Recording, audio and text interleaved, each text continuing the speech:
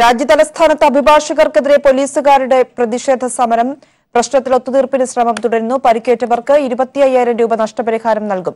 കുറ്റക്കാർക്കെതിരെ നടപടി സ്വീകരിക്കുമെന്നും അധികൃതർ വിവരങ്ങളുമായി വിഷ്ണു ചേരുന്നു. രാജ്യതലസ്ഥാനത്ത് അഭിഭാഷകർക്കെതിരെ പോലീസുകാരുടെ പ്രതിഷേധ സമരം രാവിലെ മുതൽ നടക്കുകയാണ്. ഇപ്പോൾ പ്രശ്നത്തിൽ ഒത്തുതീർപ്പ് ശ്രമം തുടരുന്ന സാഹചര്യമുണ്ടായിരിക്കുന്നു. ദില്ലി പോലീസ് ചീഫ് ഈ പ്രതിഷേധിക്കുന്ന ഉദ്യോഗസ്ഥരുമായി ചർച്ച നടത്തിയ അല്പസമയത്തിന് മുൻപ് നടപടികൾ സ്വീകരിക്കാമെന്നും കാര്യങ്ങൾ വിശദമായി പരിശോധിച്ച് വേണ്ടത് ചെയ്യാമെന്നുമുള്ള ഉറപ്പ് അവർക്ക് നൽകിയിരുന്നു. വിഷ്ണു ചേരുകയാണ് ദില്ലിയിൽ നിന്നും വിഷ്ണു ദില്ലി പോലീസ് ചീഫ് പ്രതിഷേധക്കാരോട് പ്രതിഷേധിക്കുന്ന ഉദ്യോഗസ്ഥരോട് സംസാരിക്കുകയുണ്ടായി. പ്രശ്നങ്ങൾ പരിഹരിക്കാമെന്ന് ഉറപ്പ് അവർക്ക് നൽകുകയും ഉണ്ടായി. ഇപ്പോൾ എന്താണ് അവിടെ നിന്ന് മനസ്സിലാക്കേണ്ടത്? ഈ ഒരു സമരം ഒത്തുതീർപ്പിലേക്ക് തന്നെ പോവുകയാണോ? സമരം അവസാനിപ്പിക്കാനുള്ള നീക്കത്തിലാണോ ഉദ്യോഗസ്ഥർ? പ്രിയ നമുക്ക് ഇപ്പോൾ ലഭിക്കുന്ന സൂചനകൾ അനുസരിച്ച് അല്പസമയത്തിനകം ലഫ്റ്റനന്റ് ഗവർണർ പോലീസ് ഉദ്യോഗസ്ഥരുമായി ഒരു കൂടിക്കാഴ്ച നടത്തുമെന്നാണ് നമുക്ക് ലഭിച്ചിരിക്കുന്ന വിവരങ്ങൾ. ഈ ഒരു കൂടിക്കാഴ്ചയിൽ പോലീസുകാർ പറയുന്നത് പോലെ അവരുടെ ഒരു ആവശ്യങ്ങൾ അംഗീകരിച്ചുകൊണ്ട് ഒരു സമരം ഒത്തുതീർപ്പിലേക്ക് പോകും എന്നുള്ള ഒരു സൂചനയാണ് നമുക്ക് ഇവിടെ നിന്നും ഇപ്പോൾ ലഭിക്കുന്നത്. അതേസമയം ഇന്ന് രാവിലെ മുതൽ തുടങ്ങിയ പ്രതിഷേധം അനുനയിപ്പിക്കാൻ പോലീസ് ഉന്നത പോലീസ് വൃത്തങ്ങൾ നിരവധി തവണ ശ്രമിച്ചു. ഇന്ന് വൈകിട്ട് അല്പം മുന്നേ ഒരു ഉന്നത ഉദ്യോഗസ്ഥർ പോലീസുകാരോട് ഈ സമരം നിങ്ങൾ അവസാനിപ്പിക്കണമെന്നും നടപടികൾ സ്വീകരിക്കാമെന്നും പറഞ്ഞു പറഞ്ഞിരുന്നു. ഇത്തരത്തിൽ അഞ്ച് തവണയാണ് ഇന്ന് ഉന്നത പോലീസുകാർ ഈ ഒരു പ്രതിഷേധിക്കുന്ന പോലീസുകാരോട് നിങ്ങളുടെ ആവശ്യങ്ങൾ അംഗീകരിക്കാമെന്നും സമരം അവസാനിപ്പിക്കണമെന്നും പറഞ്ഞത്. എന്നാൽ അത് ആ ഒരു പോലീസുകാരെ ഉറപ്പ് ഇതുവരെ ഏ, ചെവിക്കൊള്ളാൻ പ്രതിഷേധക്കാർ തയ്യാറായിട്ടില്ല. അവർ പറയുന്നത്. ഇവരുടെ ആവശ്യങ്ങൾ അംഗീകരിച്ചുകൊണ്ട് എഴുതി ആവശ്യങ്ങൾ അംഗീകരിച്ച കാര്യം എഴുതി നൽകണം എന്നൊരു ആവശ്യമാണ് പ്രതിഷേധക്കാർ മുന്നോട്ട് വയ്ക്കുന്നത്. അതായത് നേരത്തെ ഈ ഈ പോലീസുകാരെ ആക്രമിച്ച അഭിഭാഷകർക്കെതിരെ നടപടിയെടുക്കുമെന്നുള്ള ഒരു ഉറപ്പ് എഴുതി നൽകാതെ പ്രതിഷേധം അവസാനിപ്പിക്കേണ്ട എന്നൊരു തീരുമാനം ഒരു നിലപാട് പോലീസുകാർ സ്വീകരിച്ചിട്ടുണ്ട്. അതോടൊപ്പം തന്നെ ഇപ്പോൾ അധികൃതർ നൽകുന്ന ആ ഒരു സൂചന അനുസ- അനുസരിച്ചുകൊണ്ട് ആ ഒരു അഭിഭാഷകരുടെ ആക്രമണത്തിൽ പരിക്കേറ്റിട്ടുള്ള ആ പോലീസ് ഉദ്യോഗസ്ഥർക്ക് ഇരുപത്തി അയ്യായിരം രൂപ നഷ്ടപരിഹാരം നൽകാനും അതോടൊപ്പം തന്നെ ആ ഒരു വിഷയത്തിൽ വേണ്ട നടപടികൾ സ്വീകരിക്കാമെന്നും ഒരു ഉറപ്പുകൂടി ഈ പോലീസുകാർക്ക് നൽകിയിട്ടുണ്ട്. ഇതിന് പിന്നാലെയാണ് ഇപ്പോൾ ലഫ്റ്റനന്റ് ഗവർണർ ഈ ഒരു വിഷയത്തിൽ പോലീസ് അധികൃതരുമായി ഒരു ചർച്ച നടത്താൻ തീരുമാനിച്ചിരിക്കുന്നത്. ആ ഒരു ചർച്ചയിൽ ഒരു സമവായത്തിലേക്ക് എത്തിച്ചേരുമെന്നാണ് നമുക്ക് ലഭിക്കുന്ന സൂചനകൾ. അതേസമയം ഈ ഒരു വിഷയത്തിൽ പോലീസുകാരും അഭിഭാഷകരും തമ്മിൽ ഉണ്ടായിരിക്കുന്ന ഈ ഒരു പ്രശ്നം ദില്ലി ഇതുവരെ കണ്ടിട്ടില്ലാത്ത ഒരു സാഹചര്യത്തിലേക്കാണ് കൊണ്ട് കൊണ്ടെത്തിച്ചിരിക്കുന്നത്. അതുകൊണ്ട് തന്നെ ഇവിടെ ക്രമസമാധാന പാലനത്തിൽ പോലും വലിയ തരത്തിലുള്ള പ്രശ്നങ്ങൾ നേരിടുന്നു. ഈ ഒരു സാഹചര്യത്തിൽ ഇപ്പോൾ കേന്ദ്ര സർക്കാരും അതോടൊപ്പം തന്നെ ദില്ലി ഹൈക്കോടതിയും ആ, അടിയന്തരമായി തന്നെ ഇടപെട്ടിട്ടുണ്ട്. ദില്ലി ഹൈക്കോടതി ബാർ അസോസിയേഷനും ബാർ കൗൺസിലും ഈ ഒരു വിഷയത്തിൽ നോട്ടീസ് അയച്ചു കഴിഞ്ഞു. ആ, അതോടൊപ്പം തന്നെയാണ് ഞാൻ നേരത്തെ സൂചിപ്പിച്ച പോലെ തന്നെ കേന്ദ്ര സർക്കാർ ഇടപെട്ടതിനെ തുടർന്ന് ലഫ്റ്റനന്റ് ഗവർണറും ഈ വിഷയത്തിൽ ഇപ്പോൾ ഇടപെട്ടുകൊണ്ടിരിക്കുന്നത്. പ്രശ്ന പരിഹാരങ്ങൾക്ക് വേണ്ടുന്ന സമവായ ശ്രമങ്ങൾ തേടിക്കൊണ്ടിരിക്കുന്നത്. അതോടൊപ്പം തന്നെ ഇന്ന് രാവിലെ പ്രതിഷ പോലീസുകാർ പ്രതിഷേധിച്ചപ്പോൾ വെറും നൂറ് പേർ മാത്രമായിരുന്നു ഉണ്ടായിരുന്നത്. നൂറ് പേർക്കടുത്ത് മാത്രമായിരുന്നു ഉണ്ടായിരുന്നതെങ്കിൽ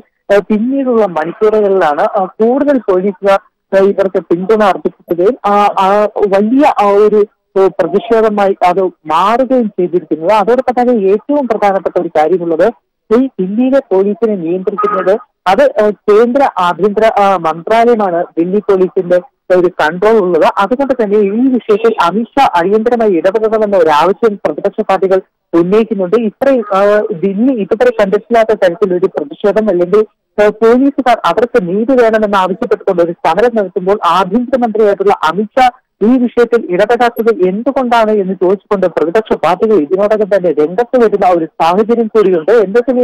ആ, നമ്മൾ നേരത്തെ സൂചിപ്പിച്ച പോലെ തന്നെ ഉന്നത പോലീസ് ഉദ്യോഗസ്ഥരെല്ലാം ഈ പോലീസുകാരോട് പ്രതിഷേധിക്കുന്നവരോട് നിങ്ങൾ സമരം അവസാനിപ്പിക്കണം നിങ്ങളുടെ ആവശ്യങ്ങൾ അംഗീകരിക്കാമെന്നും അഭിഭാഷകർക്കെതിരെ നടപടി സ്വീകരിക്കാമെന്നും അവർ ഉറപ്പ് നൽകിയിട്ടുണ്ടെങ്കിലും ഇതുവരെ തിരിഞ്ഞു പോകാൻ പോലീസുകാർ തയ്യാറായിട്ടില്ല. അല്പസമയത്തിനകം ലഫ്റ്റനന്റ് ഗവർണർ പോലീസ് അധികൃതരുമായി കൂടിക്കാഴ്ച നടത്തും. ആ ഒരു കൂടിക്കാഴ്ചയിൽ സമവായമാകുമെന്ന ഒരു പ്രതീക്ഷ അല്ലെങ്കിൽ ഒരു സൂചനയാണ് നമുക്കിപ്പോൾ ലഭിച്ചിരിക്കുന്നത് പ്രിയ. ശരി. രാജ്യതലസ്ഥാനത്ത് അഭിഭാഷകർക്കെതിരെ പോലീസുകാരുടെ പ്രതിഷേധ സമരം പ്രശ്നത്തിൽ ഒത്തുതീർപ്പിന് ശ്രമം തുടരുകയാണ്. അല്പസമയത്തിനകം ലഫ്റ്റനന്റ് ഗവർണർ പോലീസ് ഉദ്യോഗസ്ഥരുമായി ഉന്നത ഉദ്യോഗസ്ഥരുമായി ചർച്ച നടത്തും. അതിനുശേഷം ഒരു തീരുമാനം ഇക്കാര്യത്തിൽ ഉടൻ ഉണ്ടാകുമെന്നാണ് പ്രതീക്ഷിക്കുന്നത്. പോലീസ് ഉദ്യോഗസ്ഥരിൽ ഉന്നത ഉദ്യോഗസ്ഥർ ഈ പ്രതിഷേധക്കാരുമായി ചർച്ച നടത്തിയിരുന്നു. എന്നിട്ടും ഫലം കാണാത്ത ഒരു അവസ്ഥയാണ് ഉള്ളത് എന്തായാലും വലിയ രീതിയിലുള്ള പ്രതിഷേധമാണ് അവിടെ അരങ്ങേറിക്കൊണ്ടിരിക്കുന്നത്. വിശദാംശങ്ങളാണ് വിഷ്ണു നൽകിയത്. Kozhikode U A P A ചുമത്തി അറസ്റ്റ് ചെയ്ത പ്രതികൾ മാവോയിസ്റ്റുകളെന്ന് സമ്മതിച്ചതായി എഫ്ഐആർ. ഇവരിൽ നിന്നും മാവോയിസ്റ്റ് അനുകൂല തെളിവുകൾ കണ്ടെത്തി. യുവാക്കളുടെ ജാമ്യാപേക്ഷയിൽ നാളെ വിധി പറയും.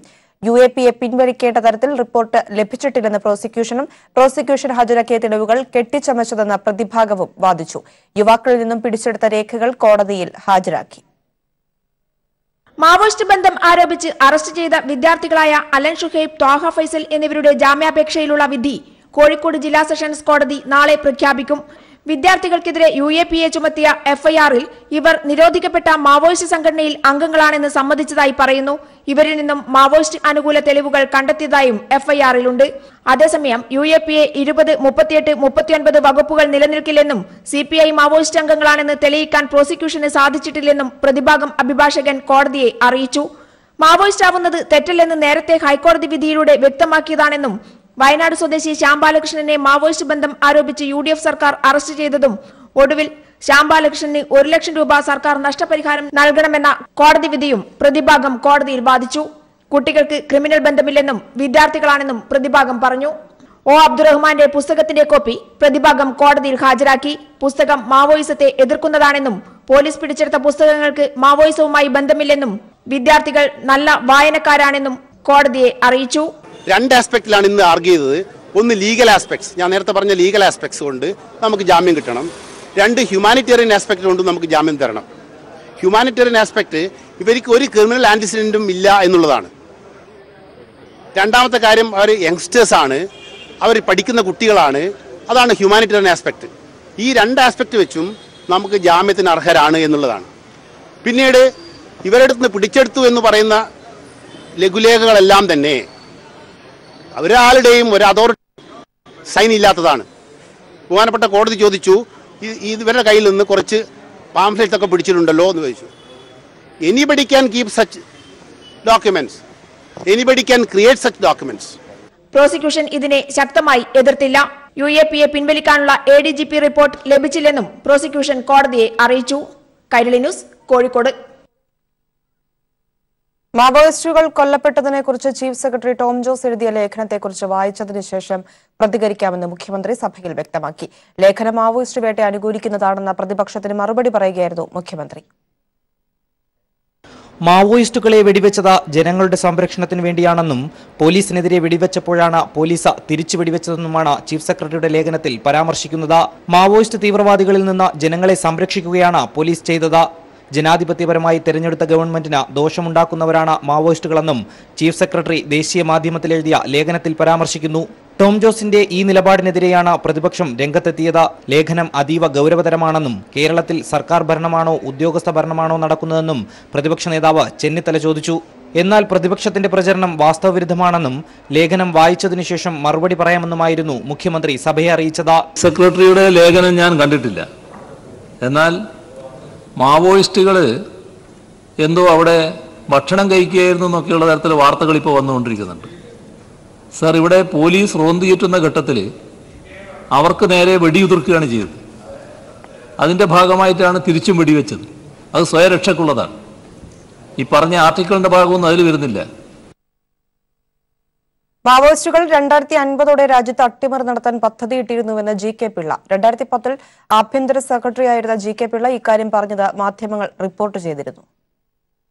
ഒന്നാം യു പി എസ് സർക്കാരിന്റെ കാലത്ത് ആഭ്യന്തര സെക്രട്ടറിയായിരുന്ന ജി കെ പിള്ള ഇടത് തീവ്രവാദത്തെക്കുറിച്ചുള്ള ഒരു സെമിനാറിൽ പങ്കെടുക്കുന്ന വേളയിലാണ് മാവോയിസ്റ്റുകളുടെ അജണ്ട വെളിപ്പെടുത്തിയത്.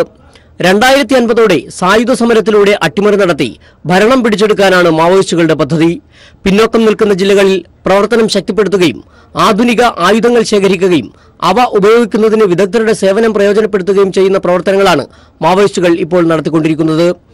വിദേശത്തു നിന്നടക്കം രണ്ടായിരത്തി നാലിന് ശേഷം ആയിരത്തി നാനൂറ് കോടിയിലേറെ ഫണ്ട് ലഭിച്ചതായും ജി കെ പിള്ള അന്ന് വെളിപ്പെടുത്തിയിരുന്നു. ആദിവാസികളടക്കമുള്ളവരുടെ ദുരിതാവസ്ഥ പരിഹരിക്കാനെന്ന പേരിൽ അവർക്കിടയിലേക്ക് നുഴഞ്ഞു കയറുകയും അവരുടെ ജീവിതാവസ്ഥ അങ്ങനെ തന്നെ നിലനിർത്തുകയും ചെയ്യുക എന്നതാണ് മാവോയിസ്റ്റുകളുടെ രീതി. വിമുക്ത ഭടന്മാരടക്കം മാവോയിസ്റ്റുകളുടെ ഭാഗമായി പ്രവർത്തിക്കുന്നുണ്ടെന്ന കാര്യവും ജി കെ പിള്ള ചൂണ്ടിക്കാട്ടിയിരുന്നു. ഖനി മേഖലകളിലേക്ക് പ്രവർത്തനം വ്യാപിപ്പിച്ച മാവോയിസ്റ്റുകൾ പിന്നീട് ഖനി മാഫിയകളോട് സന്ധി ചെയ്ത് അവരിൽ നിന്ന് ഫണ്ട് സ്വീകരിക്കുകയും ചെയ്തിട്ടുണ്ട്. ബീഹാറിലും ഛത്തീസ്ഗഡിലും മധ്യപ്രദേശിലും തിരിച്ചടികൾ കിട്ടി തുടങ്ങിയ സാഹചര്യത്തിലാണ് കേരളം സുരക്ഷാ മാർഗമായി തെരഞ്ഞെടുത്തത്. അട്ടപ്പാടിയിലെ മാവോയിസ്റ്റ് ഏറ്റുമുട്ടലിന്റെ പശ്ചാത്തലത്തിൽ സംസ്ഥാന സർക്കാരിനെതിരെ വാളെടുത്തവർ ജി കെ പിള്ള രണ്ടായിരത്തി പത്തിൽ പറഞ്ഞതുകൂടി ഓർക്കണമെന്നാണ് പൊതുസമൂഹം ആവശ്യപ്പെടുന്നത്. News desk.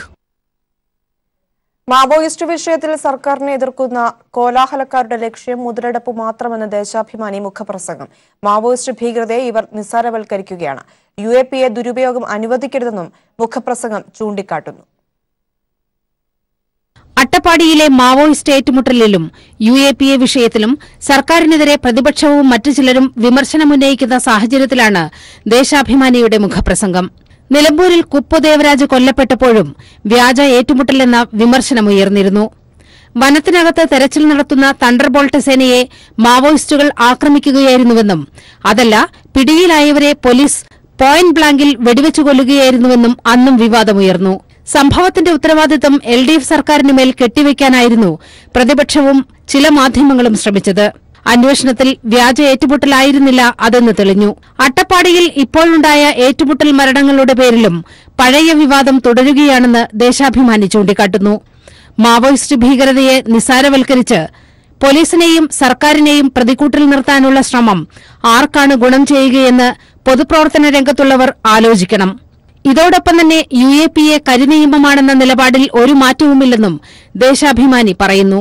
ഈ വിഷയങ്ങളിൽ കോലാഹലവുമായി ഇറങ്ങിത്തിരിച്ചിരിക്കുന്നവരുടെ ലക്ഷ്യം മുതലെടുപ്പ് മാത്രമാണെന്ന് ഓർമ്മിപ്പിച്ചുകൊണ്ടാണ് മുഖപ്രസംഗം അവസാനിക്കുന്നത്. Political desk. പാലക്കാട് അട്ടപ്പാടിയിൽ കൊല്ലപ്പെട്ട മാവോയിസ്റ്റുകളായ കാർത്തിയുടെയും മണിവാസകത്തിന്റെയും മൃതദേഹങ്ങൾ ഇനി ഒരു ഉത്തരവുണ്ടാവുന്നതുവരെ സംസ്കരിക്കരുതെന്ന് ഹൈക്കോടതി. മൃതദേഹങ്ങൾ കേടാകാതെ സൂക്ഷിക്കാൻ സർക്കാരിന് കോടതി നിർദ്ദേശം നൽകി. എട്ടാം തീയതിക്കകം പോസ്റ്റ്മോർട്ടം റിപ്പോർട്ട് അടക്കമുള്ള രേഖകൾ ഹാജരാക്കാനും കോടതി ഉത്തരവിൽ നിർദ്ദേശിച്ചു. മൃതദേഹങ്ങൾ സംസ്കരിക്കാൻ അനുമതി നൽകിയ പാലക്കാട് സെഷൻസ് കോടതി ഉത്തരവ് തടയണമെന്നാവശ്യപ്പെട്ട് കൊല്ലപ്പെട്ടവരുടെ ബന്ധുക്കൾ സമർപ്പിച്ച ഹർജിയിലാണ് ജസ്റ്റിസ് നാരായണ പിഷാരടിയുടെ ഉത്തരവ്. കേസ് രജിസ്റ്റർ ചെയ്ത് അന്വേഷണം നടത്തണമെന്നും പ്രത്യേക സംഘത്തെ നിയോഗിക്കണമെന്നും ഹർജിയിൽ ആവശ്യപ്പെട്ടിട്ടുണ്ട്. വാളയാർ കേസിലെ പ്രതികൾക്ക് ശിക്ഷ കിട്ടുമെന്ന് നൂറ് ശതമാനം ഉറപ്പുണ്ടെന്ന് പെൺകുട്ടികളുടെ അമ്മ. സർക്കാരും മുഖ്യമന്ത്രിയും എല്ലാ സഹായവും ഉറപ്പു നൽകിയിട്ടുണ്ട്. വാളയാർ കേസിൽ പ്രതികളെ ആരാണ് സഹായിച്ചതെന്ന് അറിയില്ലെന്നും കോടതിയിൽ എല്ലാ കാര്യങ്ങളും പറഞ്ഞിട്ടും പ്രതികളെ വെറുതെ വിട്ടുവെന്നും പെൺകുട്ടികളുടെ അമ്മ പറഞ്ഞു. ഞങ്ങൾ ഇത്രയും തെളിവ് പറഞ്ഞിട്ടും അവരിനെ വെറുതെ വിട്ടത് എന്തുകൊണ്ടാണ്? ഇതിനെ അവരിനെ ആരാ സഹായിച്ചത് ഒന്നും അറിയില്ല. ഈ പ്രതികളെ രക്ഷിച്ചത് എന്തായാലും അവർ പ്രവർത്തിക്കുന്ന ആൾക്കാർ ആരെങ്കിലും തന്നെയാണ് അവരെ സഹായിച്ചെന്നുള്ള ഒരു സംശയമൊന്നുമില്ല. ആരെ എല്ലാ സഹായം ചെയ്തു തരാം. അതിന് ഏത് തരത്തിലാണ് നിങ്ങൾ മുന്നോട്ട് പോകണമെങ്കിൽ ഗവൺമെന്റ് എല്ലാ സഹായവും ഉണ്ടാകും. സാർ ഉറപ്പ് പറഞ്ഞിട്ടുണ്ട്. എന്നാലും ഈ തെറ്റ് ചെയ്തവർ ശിക്ഷിക്കപ്പെടുന്നുള്ള കാര്യം ഇപ്പം എനിക്ക് നൂറ് ശതമാനം ഉറപ്പാണ്.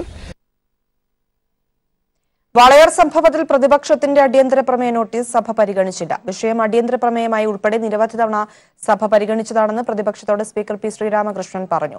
വിഷയത്തിൽ പുതിയ മാറ്റങ്ങൾ ഉണ്ടാകാത്ത സാഹചര്യത്തിൽ ചട്ടപ്രകാരം അടിയന്തര പ്രമേയമായി പ്രതിപക്ഷത്തിന് ഉന്നയിക്കാൻ സാധിക്കില്ലെന്നും ആവശ്യമെങ്കിൽ ശൂന്യവേളയിൽ ഉന്നയിക്കാമെന്നും സ്പീക്കർ അറിയിച്ചു. എന്നാൽ തങ്ങളുടെ അവകാശം നിഷേധിക്കുന്നതായി ആരോപിച്ച് പ്രതിപക്ഷം സഭയുടെ നടുത്തളത്തിലിറങ്ങി പ്രതിഷേധിച്ചു. തുടർന്ന് സ്പീക്കർ മറ്റ് സഭാ നടപടികളിലേക്ക് കടന്ന സാഹചര്യത്തിൽ പ്രതിപക്ഷം സഭയിൽ നിന്നും ഇറങ്ങിപ്പോയി. കൂടത്തായി പ്രാദേശിക ലീഗ് നേതാവ് ഇംപിച്ച് മൊയ്യെ അന്വേഷണ സംഘം ചോദ്യം ചെയ്തു. പയ്യോളി ക്രൈംബ്രാഞ്ച് ഓഫീസിൽ വെച്ചാണ് ഡിവൈഎസ്പി ഹരിദാസിന്റെ നേതൃത്വത്തിലുള്ള സംഘം ചോദ്യം ചെയ്തത്. ജോളിയുമായുള്ള സാമ്പത്തിക ഇടപാടുകളും മറ്റു ബന്ധങ്ങളെക്കുറിച്ചും അന്വേഷണ സംഘം വിശദമായി ചോദ്യം ചെയ്തു. ഏഴ് മണിക്കൂറോളമാണ് ഇമ്പിച്ചി മൊയ്യെ അന്വേഷണ സംഘം ചോദ്യം ചെയ്തത്. അതേസമയം അഞ്ചാടിയിൽ മാത്യു വധക്കേസിൽ ജോളിയുടെ കസ്റ്റഡി അപേക്ഷ നാളെ പരിഗണിക്കും. മോദി മന്ത്രിസഭയിൽ നിന്ന് ശിവസേന പ്രതിനിധി രാജിവെച്ചാൽ മഹാരാഷ്ട്രയിൽ ശിവസേന സർക്കാരിനെ പിന്തുണയ്ക്കാമെന്ന് എൻ മഹാരാഷ്ട്രയിലെ രാഷ്ട്രീയ സമവാക്യം മാറുമെന്നും അടുത്ത മുഖ്യമന്ത്രി ശിവസേനയിൽ നിന്ന് മാത്രമായിരിക്കുമെന്നും സേനാ നേതാവ് സഞ്ജയ് റാവത്ത് പറഞ്ഞു. സർക്കാർ രൂപീകരണത്തിന് ബി ജെ പി തടസ്സം നിൽക്കുന്നുവെന്ന് ശിവസേന മുഖപത്രമായ സാമന കുറ്റപ്പെടുത്തി. അതിനിടയിൽ കോൺഗ്രസ് എൻ സി പി നേതാക്കൾ ഇന്ന് മഹാരാഷ്ട്ര ഗവർണറുമായി കൂടിക്കാഴ്ച നടത്തും. ഉപമുഖ്യമന്ത്രി സ്ഥാനം നൽകി ശിവസേനയെ അനുനയിപ്പിക്കാനുള്ള നീക്കങ്ങളുമായി ബി ജെ പി മുന്നോട്ടു പോകുന്നതിനിടെയാണ് മുഖ്യമന്ത്രി സ്ഥാനത്തിൽ നിന്ന് പിന്നോട്ടില്ലെന്ന നിലപാട് ശിവസേന കടുപ്പിച്ചത്. മഹാരാഷ്ട്രയിലെ രാഷ്ട്രീയ സമവാക്യം മാറുമെന്നും മഹാരാഷ്ട്രയിലെ അടുത്ത മുഖ്യമന്ത്രി ശിവസേനയിൽ നിന്ന് തന്നെയാകുമെന്നും ശിവസേന നേതാവ് സഞ്ജയ് റാവത്ത് വ്യക്തമാക്കി. അതോടൊപ്പം മഹാരാഷ്ട്രയിൽ സർക്കാർ രൂപീകരണത്തിന് ബി ജെ പി തടസ്സം നിൽക്കുകയാണെന്ന് ശിവസേന മുഖപത്രം സാമ്നയും ബി ജെ പിയെ കുറ്റപ്പെടുത്തി.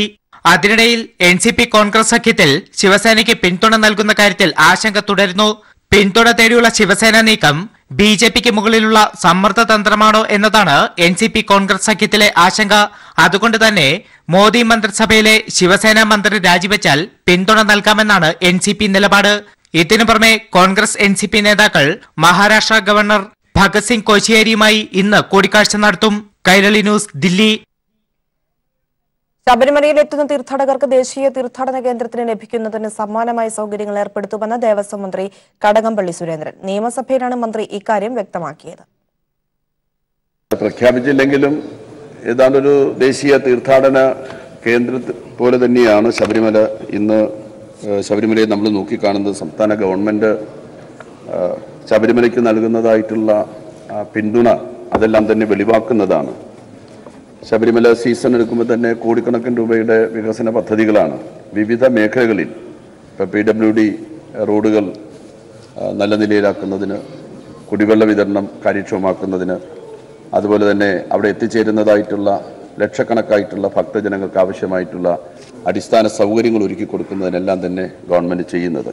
എന്തായാലും അവിടെ എത്തിച്ചേരുന്ന ദശലക്ഷക്കണക്കായിട്ടുള്ള ഭക്തജനങ്ങളുണ്ട്. ആ ഭക്തജനങ്ങൾക്ക് എല്ലാ സൗകര്യങ്ങളും ഒരു ദേശീയ തീർത്ഥാടന കേന്ദ്രത്തിൽ ലഭ്യമാകുന്ന സൗകര്യങ്ങളെല്ലാം തന്നെ ശബരിമലയിൽ ലഭ്യമാക്കുന്നതിന് വേണ്ടിയിട്ട് സംസ്ഥാന ഗവൺമെന്റ് വളരെ സജീവമായിട്ട് ഇടപെട്ട് പ്രവർത്തിച്ചു കൊണ്ടിരിക്കുകയാണ് ദേശീയ തീർത്ഥാടന കേന്ദ്രമാക്കണമെന്നുള്ളത് നമ്മുടെ സംസ്ഥാനത്തിന്റെ ആവശ്യമാണ്. എല്ലാ ഗവൺമെന്റുകളും ഇക്കാര്യം കേന്ദ്ര ഗവൺമെന്റ് ശ്രദ്ധയിൽപ്പെടുത്തിയിട്ടുണ്ട്. ആവർത്തിച്ച് തന്നെ കേന്ദ്രത്തിന്റെ ശ്രദ്ധയിൽ ഇക്കാര്യം പെടുത്താം. അമേരിക്കയിലെ പാഠപുസ്തകത്തിൽ ഇടം പിടിച്ച് കേരളം. ടെക്സാസിലെ ഹൈസ്കൂൾ വിദ്യാർത്ഥികൾ പഠിക്കുന്ന പാഠപുസ്തകത്തിലാണ് വിവിധ മേഖലകളിലെ കേരളത്തിന്റെ നേട്ടങ്ങൾ ഇടം പിടിച്ചത് ഉയർന്ന ജനസംഖ്യയുള്ള ഒരു രാജ്യത്ത് കൃത്യമായ ബോധവൽക്കരണവും ഭരണ സംവിധാനങ്ങളുടെ ഇടപെടലുകളുമാണ് കേരളം എന്ന കൊച്ചു സംസ്ഥാനത്തെ പല സൂചികകളിലും ഒന്നാമതെത്തിച്ചതെന്ന് പുസ്തകത്തിൽ പറയുന്നു.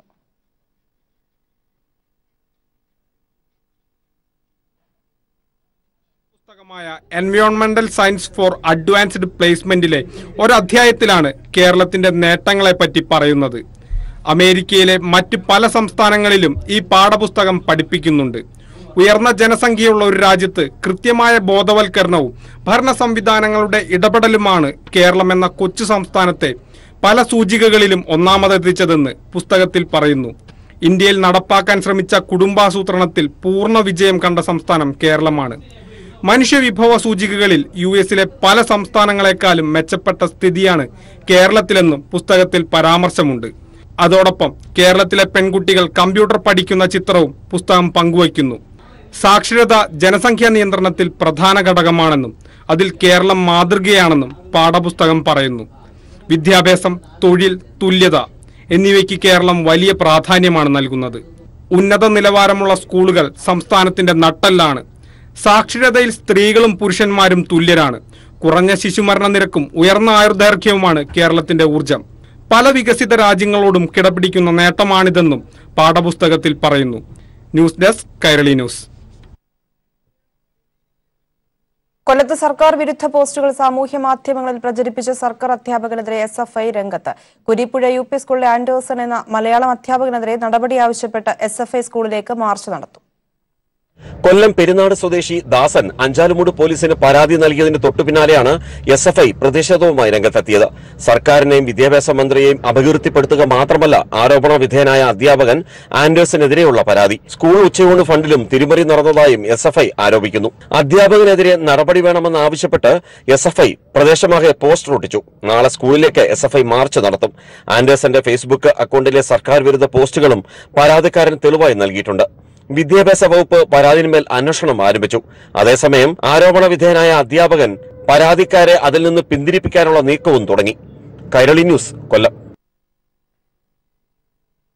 U D എഫിനുള്ള പിന്തുണ പിൻവലിച്ച് കൊച്ചി കോർപ്പറേഷൻ വനിതാ അംഗം സ്വതന്ത്ര സ്ഥാനാർത്ഥിയായി മത്സരിച്ചതിനെ തുടർന്ന് കോൺഗ്രസിൽ നിന്ന് Gita പ്രഭാകറിനെ പുറത്താക്കിയിരുന്നു.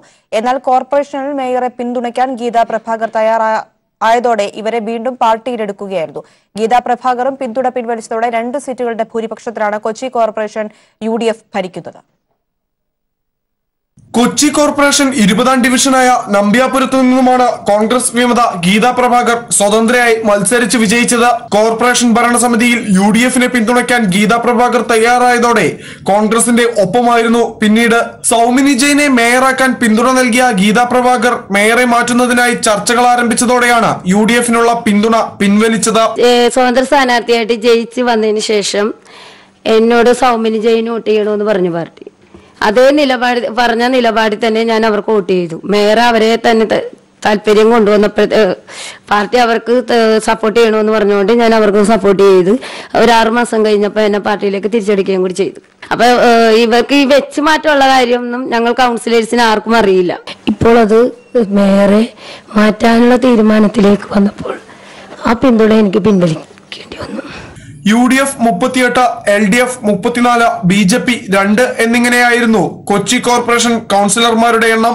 Deputy മേയറായ T J Vinod M L A ആയതോടെ മുപ്പത്തേഴിലെത്തിയ യു ഡി എഫിന്റെ അംഗസംഖ്യ ഗീതാ പ്രഭാകറിന്റെ പിന്തുണയും നഷ്ടപ്പെട്ടതോടെ മുപ്പത്തിയാറിലെത്തി. മേയറെ മാറ്റിയാൽ പിന്തുണ പിൻവലിക്കുമെന്ന മറ്റൊരു വനിതാ അംഗമായ ജോസ് മേരിയും യു ഡി എഫിന് മുന്നറിയിപ്പ് നൽകിയിട്ടുണ്ട്. ഇവരും പിന്തുണ പിൻവലിക്കുന്നതോടെ കേവലം ഒരു സീറ്റ് മാത്രമായിരിക്കും കോർപ്പറേഷൻ ഭരണസമിതിയിൽ യു ഡി എഫിന്റെ ഭൂരിപക്ഷം. കൈരളി ന്യൂസ് കൊച്ചി. ആലുവയിൽ നോക്കുകൂലി ആവശ്യപ്പെട്ട ബി എം എസ് തൊഴിലാളി യൂണിയൻ നേതാക്കളുടെ ഭീഷണി. എസ് ബി ഐയുടെ ആലുവ ബ്രാഞ്ചിന്റെ നവീകരണവുമായി ബന്ധപ്പെട്ട് വാഹനത്തിൽ കയറ്റിയ ഫർണിച്ചറുകൾ കൊണ്ടുപോകുന്നത് തടഞ്ഞുകൊണ്ടായിരുന്നു ബി എം എസ് തൊഴിലാളികൾ ഗുണ്ടായിസം കാണിച്ചത്. കൈരളി ന്യൂസ് വാർത്ത പുറത്തുവിട്ടതിന് പിന്നാലെ പോലീസും ക്ഷേമ ബോർഡ് ഉദ്യോഗസ്ഥരും എത്തി പ്രശ്നം പരിഹരിക്കുകയായിരുന്നു. ആലുവ എസ് ബി ഐ ശാഖയുടെ നവീകരണവുമായി ബന്ധപ്പെട്ട് ഫർണിച്ചർ ജോലികൾക്കായി കൊട്ടേഷൻ എടുത്തവരാണ് ബി എം എസിന്റെ ഭീഷണിയെ തുടർന്ന് വിട്ടിലായത്. രാത്രി പത്ത് മണി മുതൽ പുലർച്ചെ വരെ ലോറിയിൽ പഴയ ഫർണിച്ചറുകൾ കയറ്റി അവസാനിക്കാറായപ്പോൾ ബി എം എസിന്റെ നേതാക്കളെത്തി നോക്കുകൂലിയായി പന്തിരായിരം രൂപ ആവശ്യപ്പെടുകയായിരുന്നു. കുറച്ച് പണം നൽകി പ്രശ്നം പരിഹരിക്കാൻ നോക്കിയെങ്കിലും മുഴുവൻ തുകയും നൽകാതെ വാഹനം കൊണ്ടുപോകാൻ അനുവദിക്കില്ലെന്ന് ബി എം എസ് നേതാക്കൾ ഭീഷണി മുഴക്കി.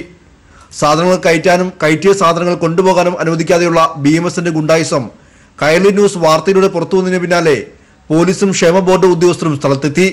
സംഘപരിവാർ നേതാക്കളുമായി ക്ഷേമ ബോർഡ് ഉദ്യോഗസ്ഥരും പോലീസും ചർച്ച നടത്തുകയും നോക്കൂലി അനുവദിക്കില്ലെന്ന് വ്യക്തമാക്കുകയും ചെയ്തു.